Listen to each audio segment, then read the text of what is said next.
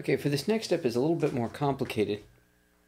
We're using a function generator, which is just basically a fancy term for a uh, an oscillator, and we have it set to uh, 1K, and uh, you can uh, fine tune the frequency here. We're going to have it set it right to uh, 1000 hertz, and uh, this top graph illustrates the output from the function generator. It's uh, 1,000 cycles, and it's exactly at um, 400 uh, uh, millivolts.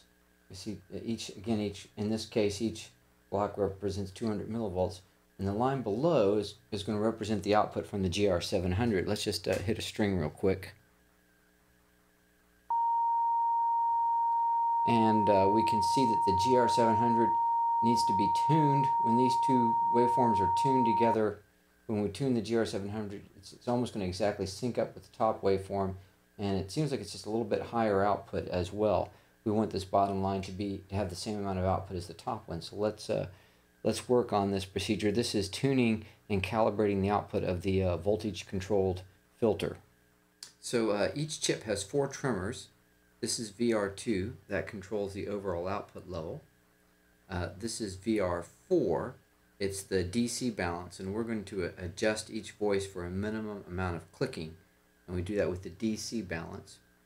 Uh, this one is your resonance control, and that's the amount of resonance, and we're going to uh, be adjusting in this next step the um, the, the uh, resonance level, how much uh, resonance is, is output from the circuit, and then we have the uh, actual filter cutoff frequency, and with this particular chip, when you uh, turn up the enough resonance, you get a feedback loop.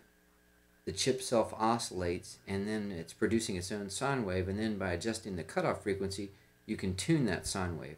And we're going to tune all these chips so that the uh, output frequency is exactly uh, one kilohertz for each chip. So uh, each chip will be voiced to sound the same.